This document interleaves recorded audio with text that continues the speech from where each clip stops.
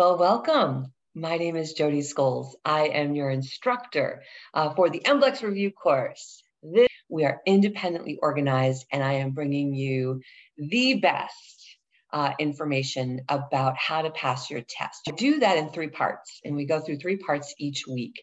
Uh, the majority of what we do is in part two, but part one is learning a little bit about the test, understanding maybe some of the folklore the things that you've been, the feedback that you've been getting uh, from people who are taking the test.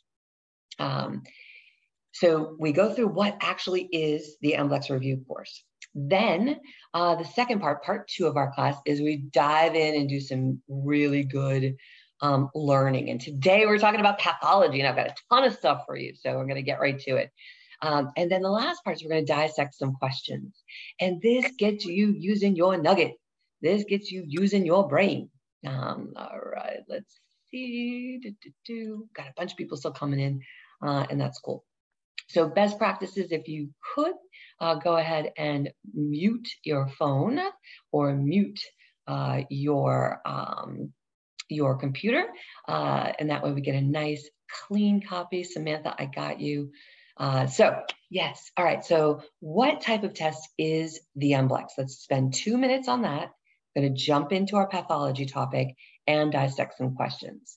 Um, we have quite a bit of material. So I want to simply remind you that the MBLEX is a computer adaptive test, a CAT. And for those of you who are with me in the patron community, I'm going to post this afternoon uh, not only this recording, but I'll also post the recording that was that was made by the Federation about what is a CAT type of test, computer adaptive test, CAT, CAT test. That means that this test is going to adapt to your skill level. And so I like to explain it that you're going to start in the middle. You're going to start with, if this is hard and this is easy, you're going to start with an average difficulty question. If you get that question correct, when you get it correct, the next question is going to be a little bit more difficult. Get that correct, it's going to be a little bit more difficult. That correct, it's going to be a little bit more difficult. Now, that seems mean. That seems like you're out to get me. it's not. Because when those questions get more difficult, you actually earn more points. Yes, so answering difficult questions correctly gets you more points. And your whole goal is to score uh, 630 points in this test. Now, we don't know how much each point, each um, question is worth, but you're going to get 100 questions, right? And your goal is to score 630 points. So basically a 63, right? If it's 100, you know, and we were doing one point per question, that would be just getting 63 of those questions right. On my practice exam, you got to get a 70 to pass. Yeah. So if you're scoring a 63 or better, you're actually passing the MBLEX. But back to this computer adaptive test, if you get this kind of sort of hard question, medium difficulty question wrong, the next question will be easier. So this test is actually conspiring to get you into a rhythm, to get you some momentum. So when you're there, remember, I just want to remind you, please breathe while you're there. Breathe, breathe, breathe. Okay. Um, it is uh, a test. It can, it is going to make you nervous. Thinking about it makes it makes you nervous. It's okay. That's normal. It actually kicks in our endocrine system and gives us some epinephrine to actually be creatively thinking, to be critically thinking. And when we cover the endocrine system, you'll remember what those hormones do uh, in the uh, in the system. They help you to take fight or flight, but it makes you a great critical thinker. So that little bit of nervousness is actually helping too. I know, right? So you are in a great position to go ahead and take this exam. Let's talk about next, going into part two, let's go into our pathology for the day. All right, let me do this. Thank you for your patience. Oh, I gotta share the screen, otherwise you can't see. All right. Whoop. That was not it. Thanks for your patience. Uh, la, la, la. All right. There we go. Welcome back. Welcome back. We are covering pathology today. So pathology for massage therapists. Let me move us out of the way. Um, we have done another class on pathology um, like uh, about 12 weeks ago. Um, so this is uh, a mix of some material you've reviewed in school and some material you may not have seen. However, we're approaching this pathology from the lens of a massage therapist and from the lens of the MBLEX. What are we going to need to know to safely practice massage therapy as far as pathology is concerned? So we're going to identify about 10 to 12. We'll see what we get through today. Uh, different pathologies. And pathology is just a fancy way to say a disease or a condition. Okay, uh, so that's what we're going to be talking about today. We're going to talk about symptoms, we're going to talk about session adaptations, um, and then we're going to dissect some questions at the end on this. So here's what we're going to cover today. We're going to talk about uh, tendon disorders, we're going to talk about uh, whiplash. We're going to cover sprains and strains, uh, where strains versus sprains. Uh, carpal tunnel syndrome. We're going to talk about myofascial pain syndrome as it compares to fibromyalgia. Uh, and some, we're going to cover postural deviations, and we're going to talk about thoracic outlet syndrome. so uh, it, yeah, that's like alphabet soup, right? Um, but work with me. You're going to feel so confident when we get done. If you don't know what some of this stuff is, don't worry. Um, you will by the time we get done. And I'll bet you, you'll be like, oh, yeah, I remember. Oh, and just when you're reviewing this later, here's other conditions. If you want to dive deeper into pathology, here's other conditions that I would recommend that you are familiar with. Um, plantar fasciitis, uh, both osteo and rheumatoid arthritis, uh, hypertension, so high blood pressure, uh, TMJ, the causes of TMJ pain, uh, skin diseases we've talked about, eczema and psoriasis. Look at, if you don't know what torticollis is, look it up, and adhesive capsulitis, that's also a good one. So we're not going to talk about those today, maybe in the next eight week segment uh, when we get started again in September. All right, but let's talk about tendon disorders. Oh boy. Now, this is a fancy way to talk about things like Achilles tendonitis. It's a tendon disorder. So, Achilles tendonitis, uh, tennis elbow, golfer's elbow, and then we're going to take a brief look at the difference between tendonitis and tendinosis. Because when you're treating your clients, you're going to want to know is this truly tendonitis or is it tendinosis? And look here, guys, the difference in the spelling. Okay? Cover more on this in a minute or in four minutes. All right, let's talk, let's take a look at Achilles tendonitis. Where is it? So, in fact, I'm going to cover that slide. Where is your Achilles tendon? touch it. If you're not driving or if it's safe to do so, touch your Achilles tendon. Yeah, cross your ankle over your knee, and it's at the distal end of the soleus. So find it on your own body. You see it here in the image. The Achilles tendon is right here at the distal end of the soleus. Okay? and itis, I-T-I-S, inflammation. So it's inflammation of the Achilles tendon. Uh, the way we treat it is we work both the tendon if it's not acutely um, inflamed. Um, so if it's not currently inflamed, we can go ahead and treat the Achilles tendon, but we also want to treat the reciprocal muscle, which is the posterior tibialis. You're getting a tiny little bit of sports massage here uh, in your treatment plan. This will not be on the MBLEX, um, but I just wanted to remind you of the concept of reciprocal muscles. Uh, reciprocal muscles have to do with like your bicep and your tricep. your rectus abdominis, right? And your quadratus lumborum.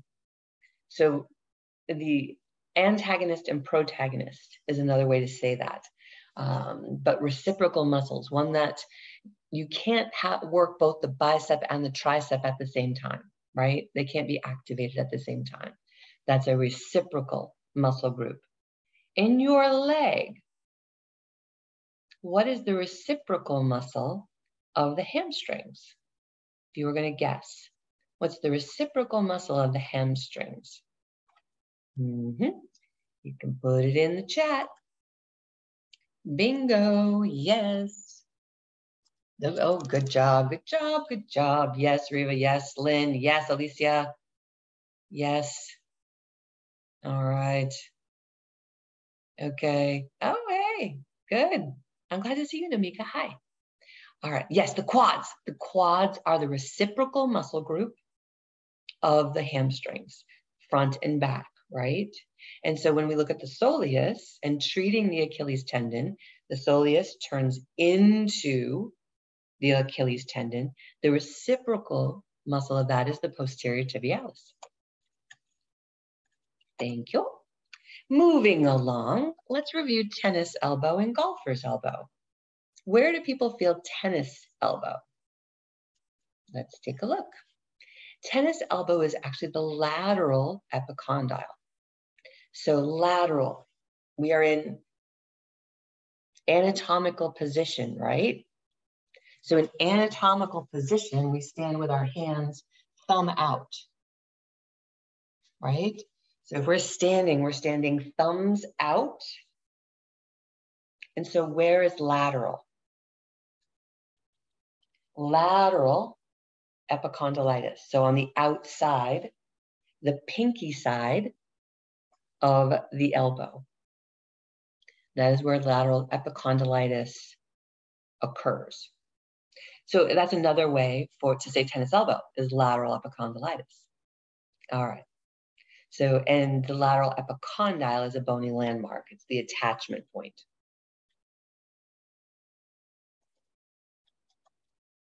So if we feel tennis elbow in our lateral epicondyle, where do we experience golfer's elbow?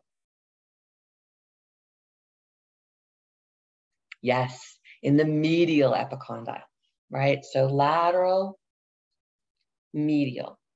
So, and that's the medial epicondyle in anatomical position. Also, golfer's elbow technically could be called medial epicondylitis. Now, of course, both lateral and medial epicondylitis are not limited to tennis and golf. Um, those can be conditions from overuse as well.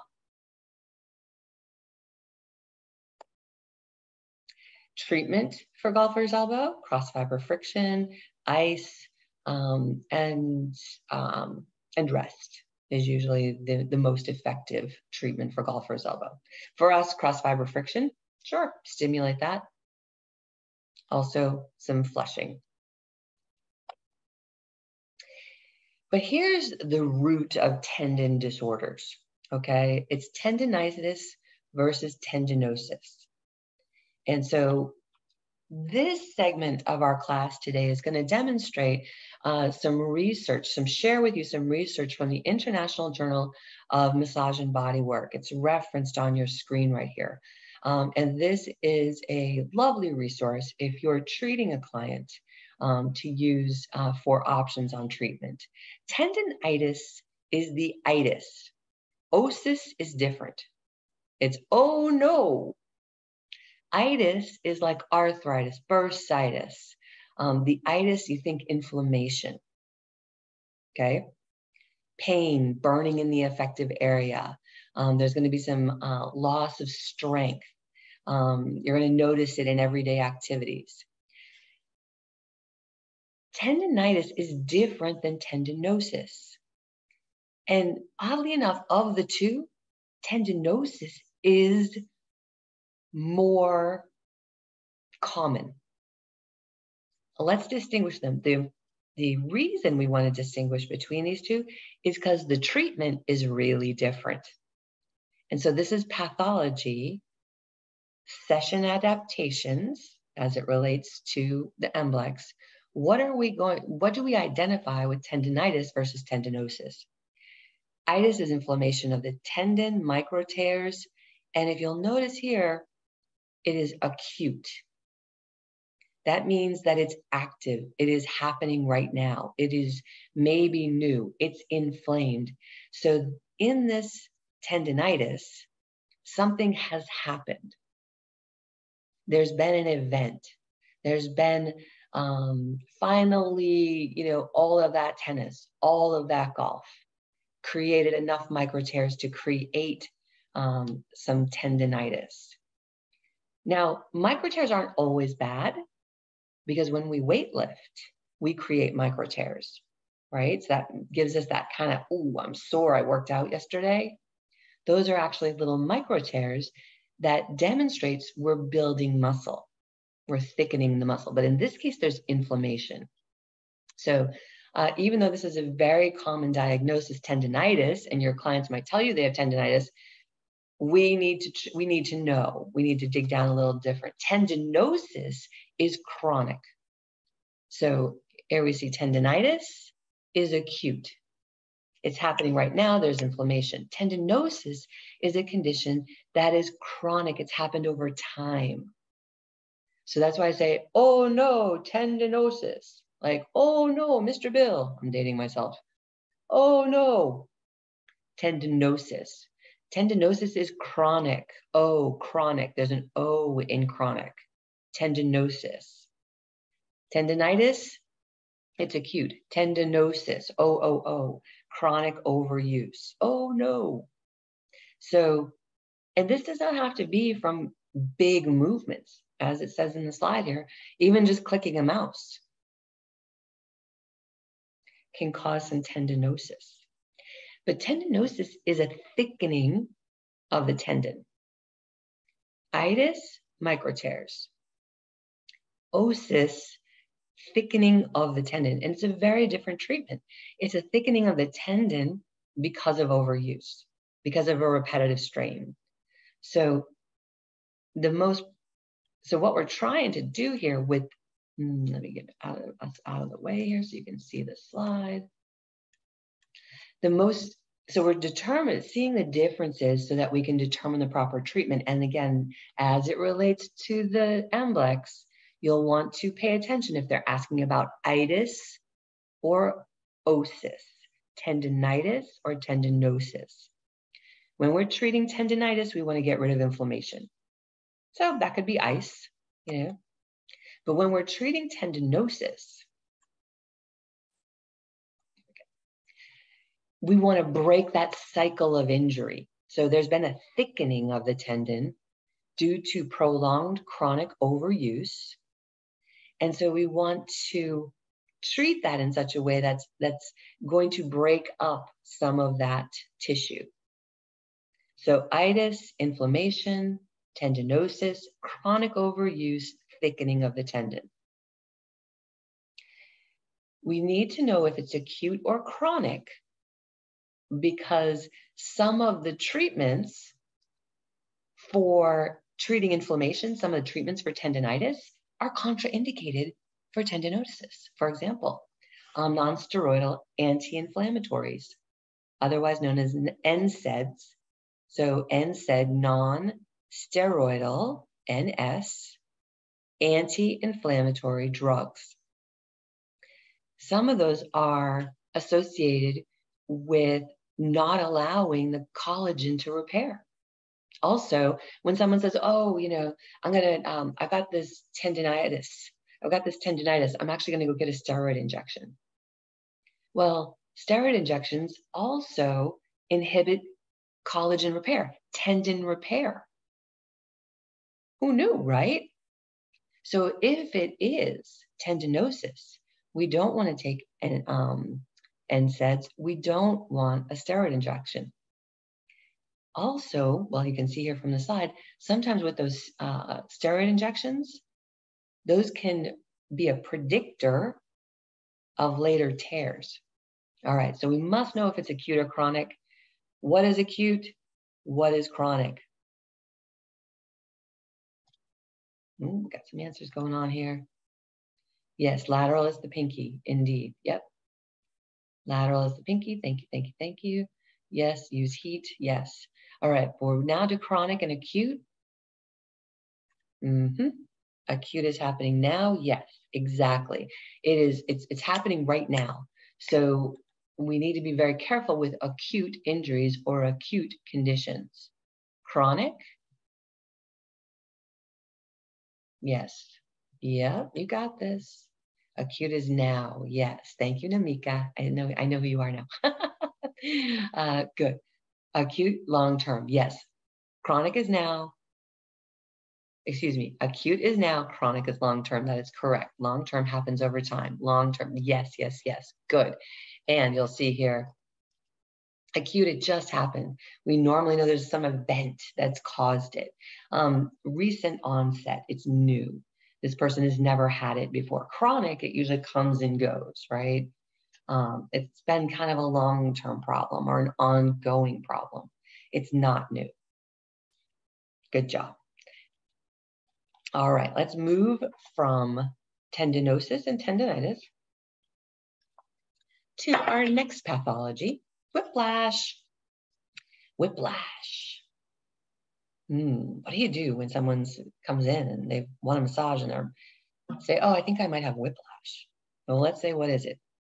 It's a neck injury and it's in the sagittal plane. So it's in that uh, plane that divides us in half, right? So it's an, an injury where the head has been pushed forward and slapped back. And where do we normally see this injury occur? What do we, you know, where, what do you normally, with, with your experience? Yeah, exactly. Good, Lynn. Get a doctor's clearance. Jessica, 72 hours. Yes, exactly. Good to chiming in, Jessica. Good for you. All right. Um, so where do we normally see whiplash injuries? Yes, scalenes. Um, and what has caused it? Oftentimes, what has caused a whiplash? Mm-hmm. Yes, exactly. Good, Reva. Car wreck. Alicia, yes, car accident. Yes. In fact, most rear end accidents create a force where the head goes forward and then we flip it back. So we need to be, it can be the result of, um, like in soccer, boom, you know, uh, they get hit in the head and that can cause their head to snap back. Um, but typically it's a rear end car accident. And it's important for us to know this because it's actually contraindicated to work on the person for 72 hours. Why would that be? I will give you, I'll give you a hint. Has to do with our physical, with our with our uh, with our endocrine system. Mm-hmm. What's happening right after an accident or right after we get a whack to the head?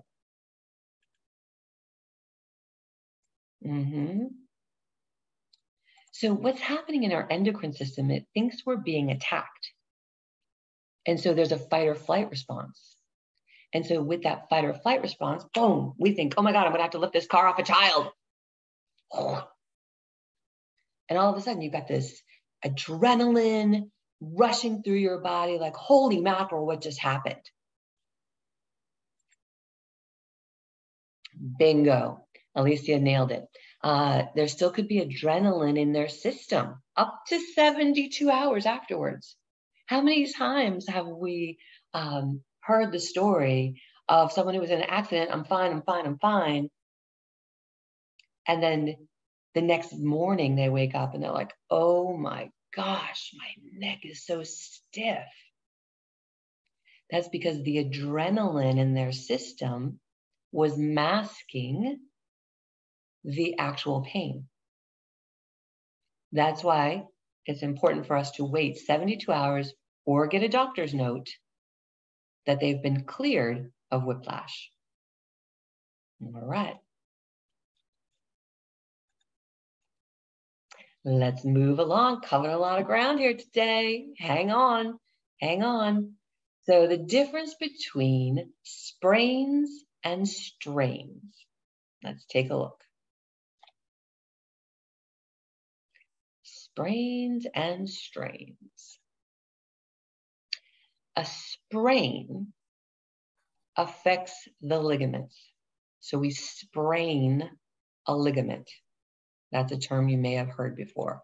Oh, they sprain. Yes, exactly. You got it, Charla. So, what is a ligament? It's that tough band of fibrous tissue that connects a bone to a bone. So, most often we see a sprain of the ankle, but if you want to, um, yeah, and we're going to talk about that kind of sprain. A strain affects the tendon, so a muscle or a tendon. So T, the letter T is in the word strain, right? T for tendon. Yes. So T for tendon. Straining a tendon or straining a muscle. And you can see the difference in the strain because when you strain, see the image here, a lot of times what happens when you strain a muscle, you might feel a pop, you might um, hear something, um, but it's a stretching or a, or a, a, a, kind of tearing, if you will, not a severing, um, but a, an occurrence in that tendon or in the muscle. And rem- reminder that the tendons attach muscles to bones. Right on. Ooh, is someone having connection issues? Okay. All right. Thanks, Lynn, for chiming in. Um, I did admit your phone, so feel free to give that a try. All right. Thanks for checking in, you guys. One more quick little look at this sprains and strains, just to remind you. Sprain, you sprain a ligament. So when there's an ankle sprain, think about your ankle, right? Not a lot of muscles or tendons down there. So it's mostly ligaments attaching bone to bone, sprains. Strains with a T is affecting the tendon or the muscle. And we'll sometimes see this discoloration where there's been a strain to the muscle. Ligaments are not very vascular. That's why this doesn't happen. So there's not a lot of blood in ligaments compared to a muscle or a tendon, right? So um, that's why we see the bruising action uh, in a strain. Okie dokie. Carpal tunnel syndrome. We are all over the body today. Carpal tunnel syndrome. Where do they feel it? Where is your carpal tunnel? Mm-hmm. Come on. I see some answers coming in. Boom, boom, boom. Yes, nice job, Charlotte. Oh, you all got it. Look at you. Uh, great, Riva. Yes. Um, be more specific, please. That's where you feel the pain. Uh, Alicia, yes. Charla, yes. Raquel, yes. Uh, Namika, yes. It's in the wrist right? So carpal tunnel is right here. I'm touching my wrist if you can't see me.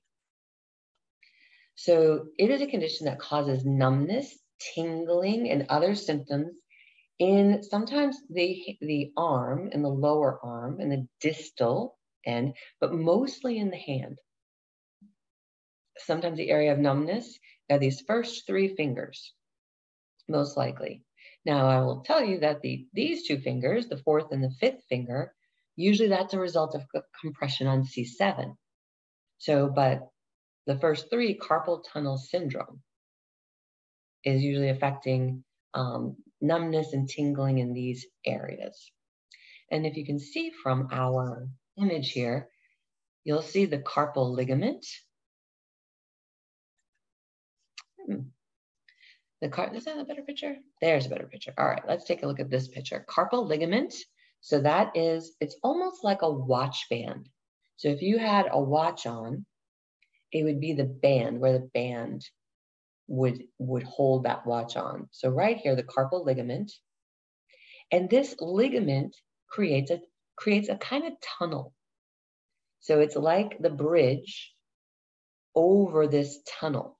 So the carpal tunnel is where our carpal bones live, right? It's also where the median nerve passes through. So when this ligament becomes tight, it squishes together, it reduces the space in the carpal tunnel, and that's why that compression creates the pain and tingling. The compression of the nine bones that are in our wrist create, when that's compressed and squished together because this ligament has shortened. So, say we're typing, typing, typing, typing, that can cause that ligament to shorten. And that's what compresses the tunnel, creating the pain and tingling.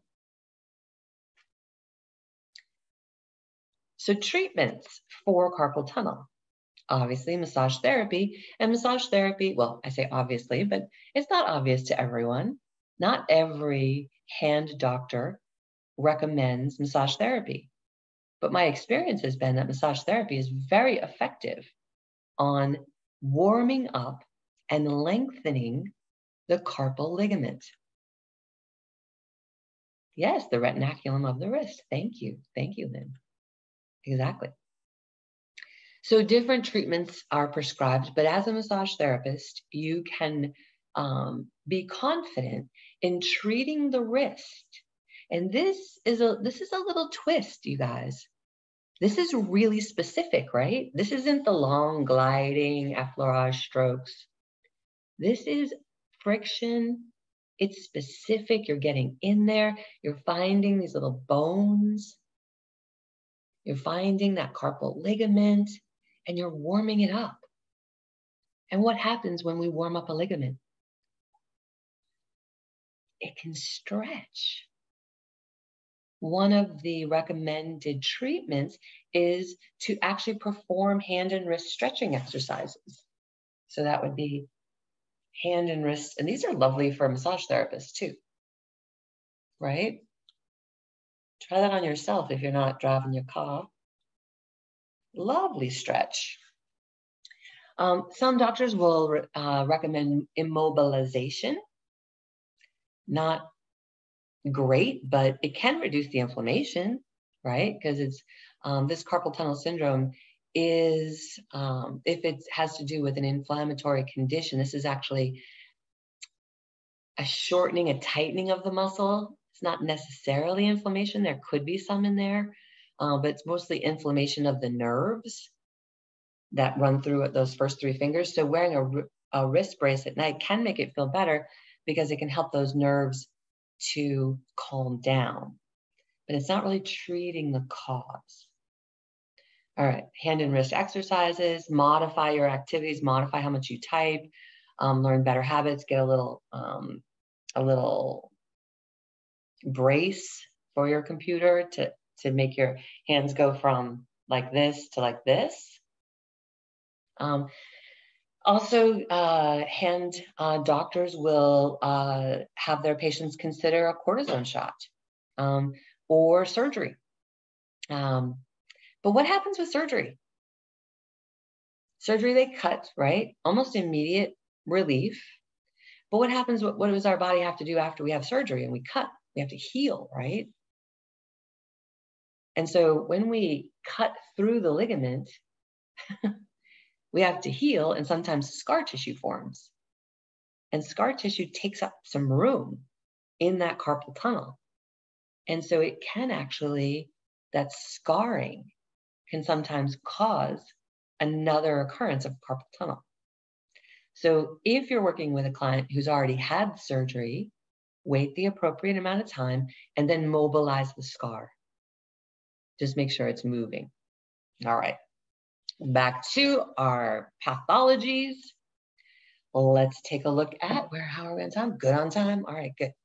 Uh, let's take a look at myofascial pain syndrome and fibromyalgia and how they're related and not related.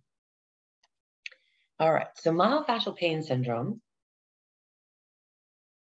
is a condition that is diagnosed by a doctor we do not diagnose, we do not prescribe. We do not say, oh, I think you have, um, yeah, um, I think you have myofascial pain syndrome. No.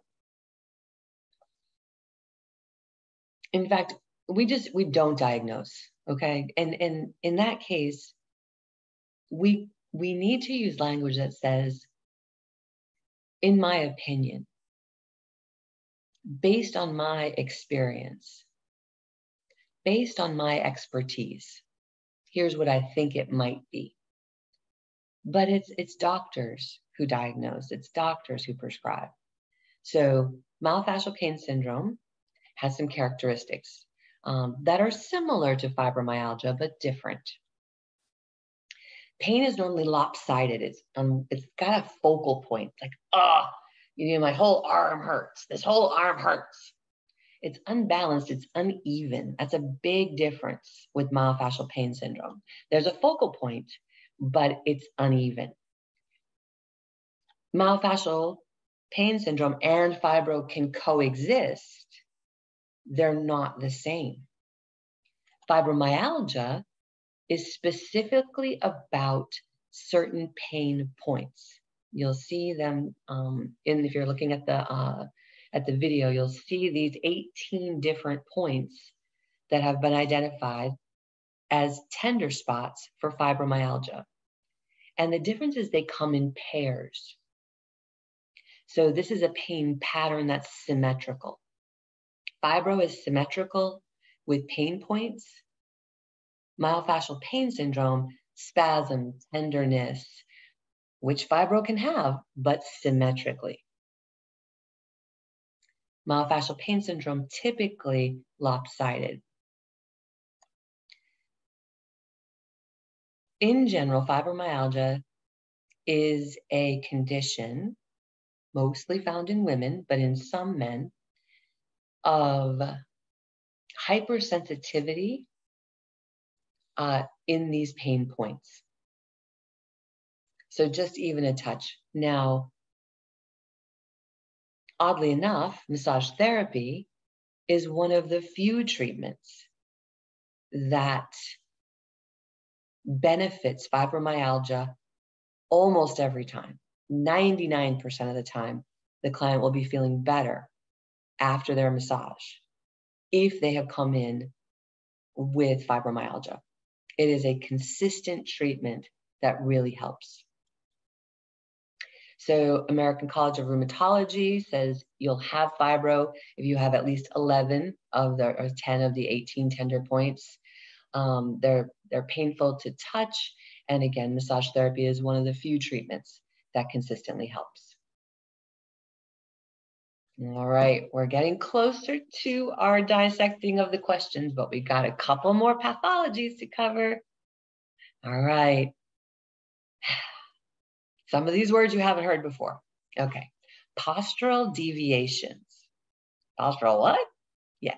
So this is postural deviations. This is changes to the spine that creates a difference in posture.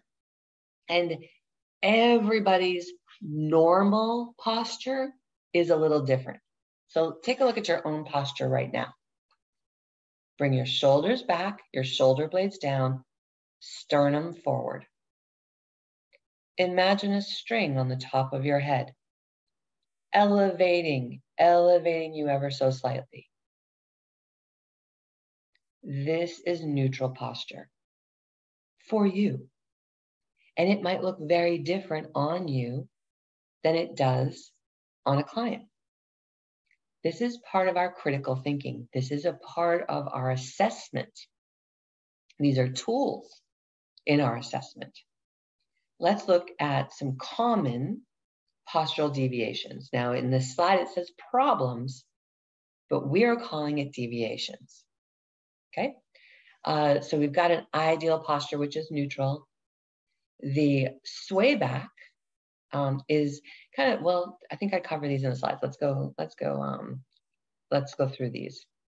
So ideal posture is different for everybody. Well, i do not have individual pictures of these. So sway back is also when it's like if you've seen the pictures of the old men who pull their uh, their their belts up to over their belly button and their their pelvis is kind of tucked under and they walk with it kind of tucked under that is a condition that's also called a posterior tilt to the pelvis. There's more on that in another lesson, but we're just going how it affects the posture, postural deviations. Military back is called also called um, a flat back. Those are similar. What I'd like you to pay attention to though is the kyphotic and lordotic curves. So in this image, it's the fifth skeleton. And you can see the kyphotic curve is like the humpback, right? So when we see older women and they got that great big thoracic curve, that's also called a kyphotic curve, a kyphosis of the spine. If we look at the lumbar region, a lordotic curve, a deep lordotic curve would be an exaggerated curve of the lumbar. So your butt is sticking out. Stomach is spilling forward, butt sticking out, also an anterior tilt to the pelvis. So kyphotic curve, lordotic covers the thoracic region, lordotic curve, L for lumbar, L for lordotic. And then these postural deviations end up creating a forward head posture. They can. So just refamiliarizing you with some of these postural deviations. And if you see them in a client, there will be some session adaptations you'd want to make, right? A strong kyphotic curve, they may need a pillow. Big lordotic curve, make sure there's a, um, a bolster under their knees.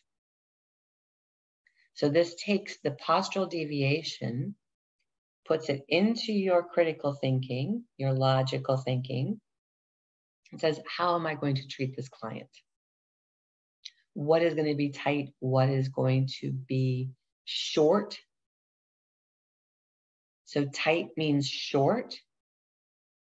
Tight can also be overstretched. Think again about that kyphotic curve. That's going to be overstretched, right? But it's going to be tight. So don't always be careful of making the mistake that you think tight is short. Tight can sometimes be overstretched. All right. Our last topic before the questions. Lord have mercy. Thoracic outlet syndrome. What is it? Okay, let's take a peek. Thoracic outlet syndrome, um, it happens in our thoracic outlet. So it's not in our thoracic spine.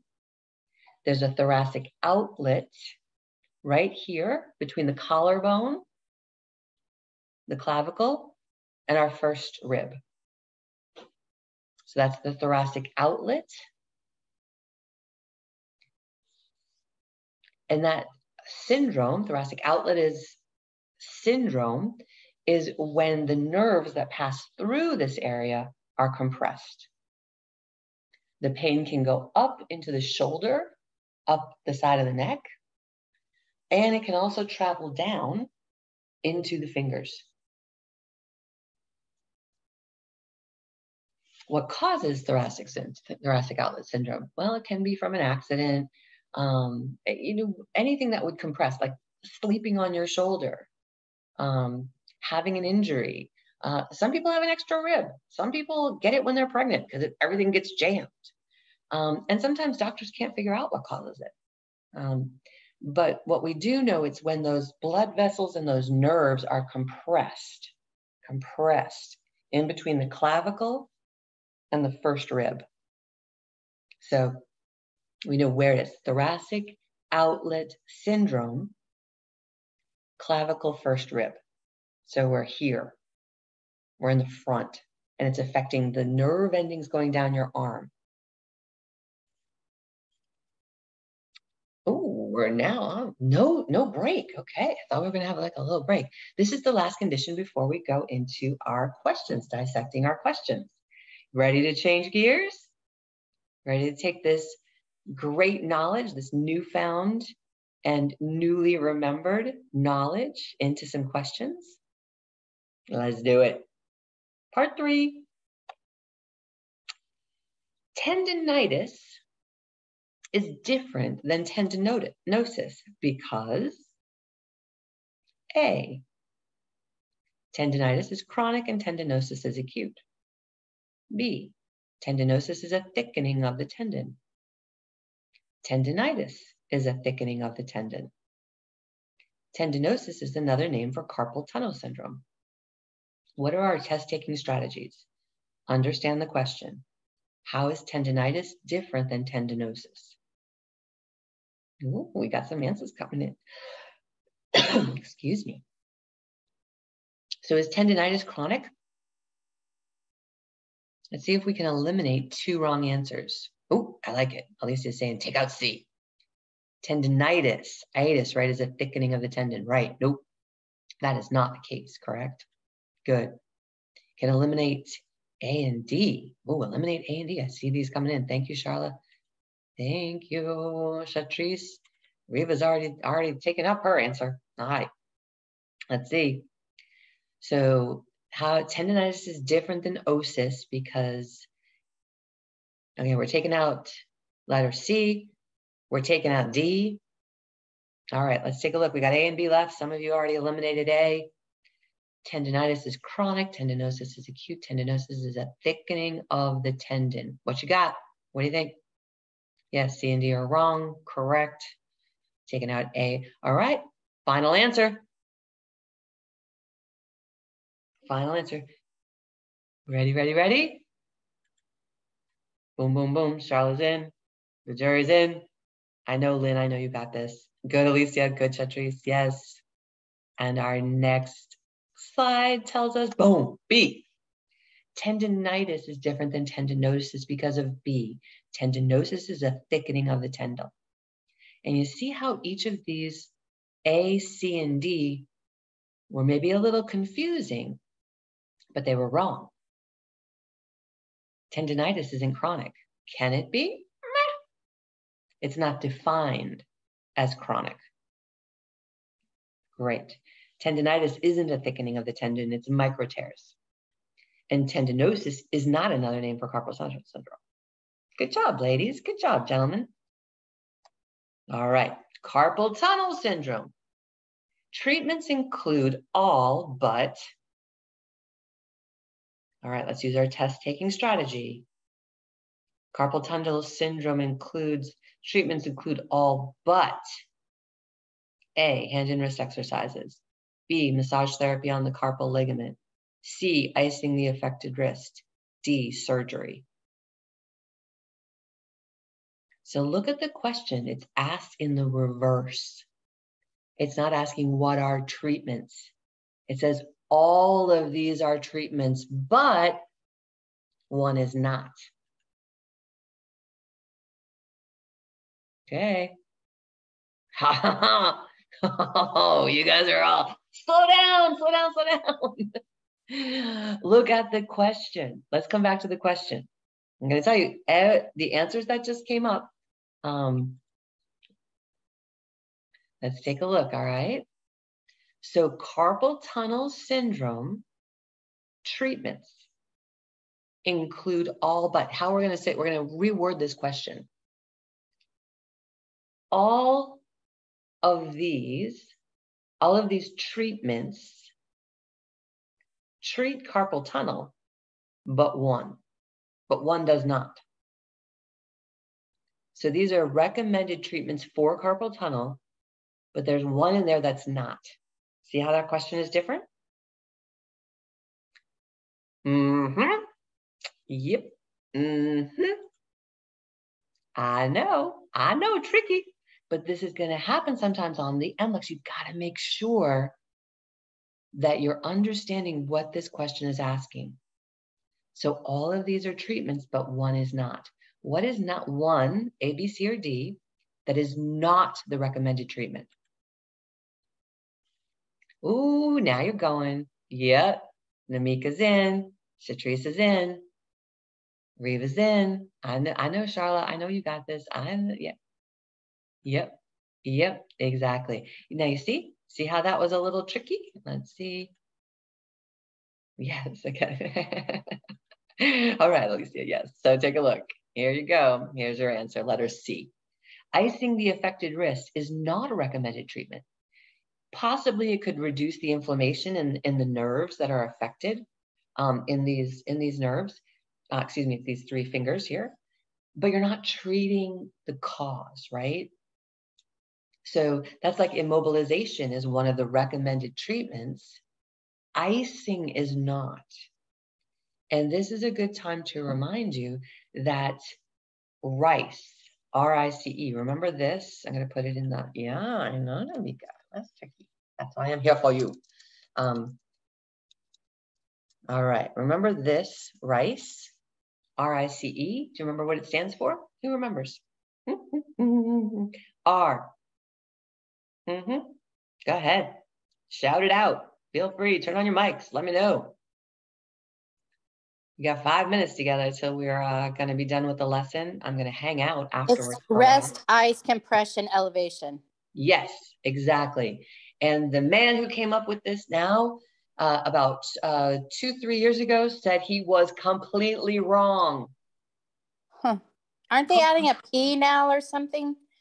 It, I'd have to look, to be honest with you. But the rice, as far as icing an injury, is actually completely wrong. Huh. Our body needs the inflammation to send a signal to our brain that there's been an injury. When we ice, and we eliminate the inflammation, our body may shut off the healing response. Isn't that fascinating? I look at it as the anesthetic perspective, though. It it mm-hmm. it makes it less painful. Well, and certainly if you've got an acute situation, you know, yeah. you, and you know, and you need to, and sometimes we need to ice, you know, a body to bring down the temperature. But think about fever. What is fever doing? Mm-hmm. Fever is fighting an infection, right? Mm-hmm. Fever is systemic. Even though we we take temperatures here, we typically take temperatures here, but on a baby, you take a temperature maybe from the forehead, but from under the tongue and maybe in the butt, because the fever is systemic. Yeah. So just my point here, um, as we go to our last question, is um, that rice they even say rest. Yeah, if you've got like an open wound, don't go running on it.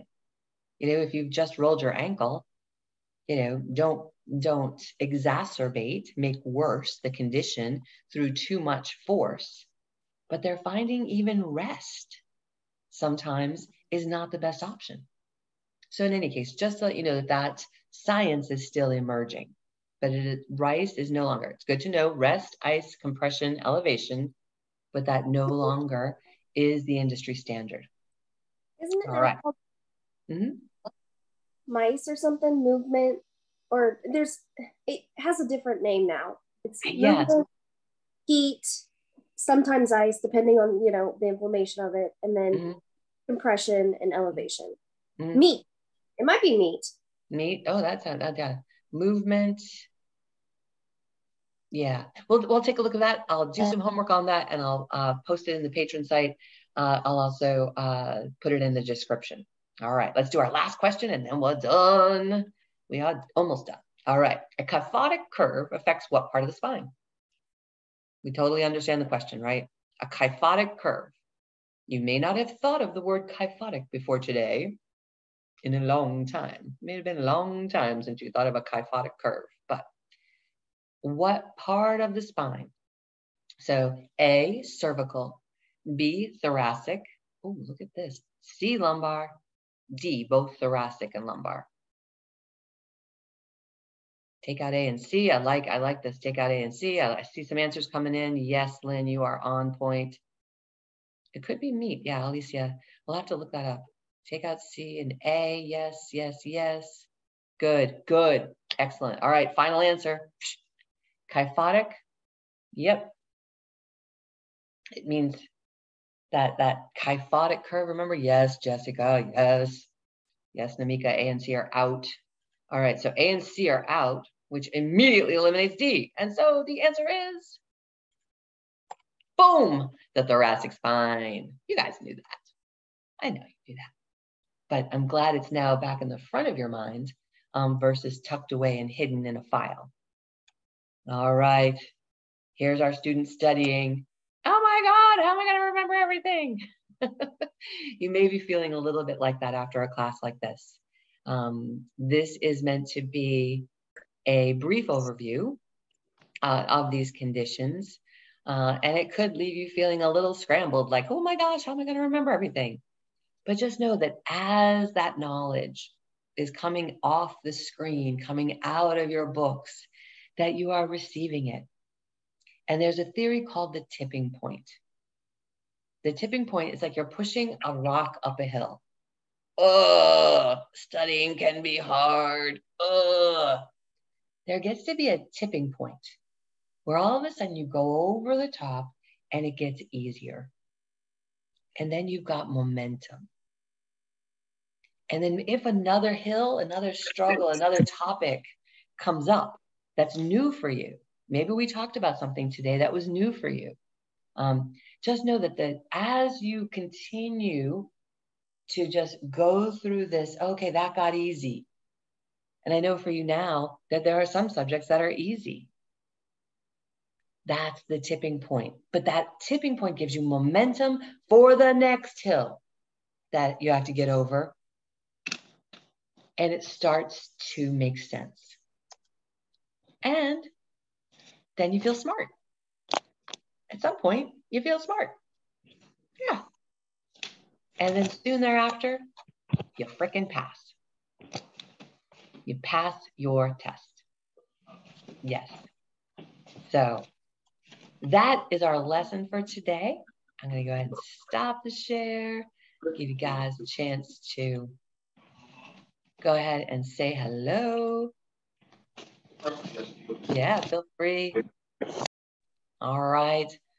How's everyone doing? You know what? I'm going to go ahead and end the recording. So wave goodbye, everybody who's on. Say wave goodbye to our other students that are watching later. Bye, bye, bye. Um, so thanks so much for being uh, with us today. This ends the recording. My name again is Jodi Scholes. Uh, and uh, I love uh, facilitating this space for you, holding the space for you, knowing that you are even just a baby step closer to getting your to passing your test and getting your license to practice massage therapy. Thanks so much for being with us today. Reach out if you have questions.